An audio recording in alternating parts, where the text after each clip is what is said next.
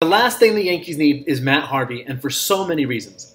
On Friday, Mets GM Sandy Alderson told reporters that the team would designate Harvey for assignment, essentially cutting ties with him because he refused to go to the minor leagues to try to work on not being the terrible pitcher he's been for the past three seasons. The Yankees could use a depth arm. They can use a talented depth arm. Jordan Montgomery, their number four, number five starter, will be on the DL for maybe the next two months with a left elbow strain. Right now, the Yankees are putting Domingo Germán, a rookie but an unproven right hander, into his spot.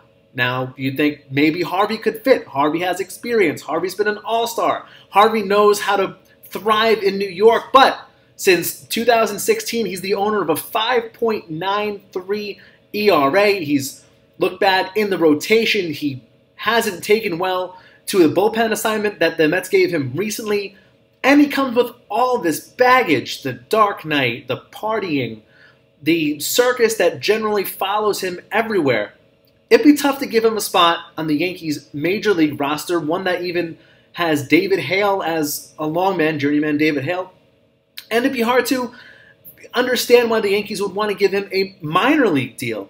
Now, generally, you look at minor league deals as risk free auditions. Who cares if they go well? Well, the Yankees would send this circus over to Scranton, where in the rotation they have two of their most prized, most advanced pitching prospects in Chance Adams and now Justus Sheffield.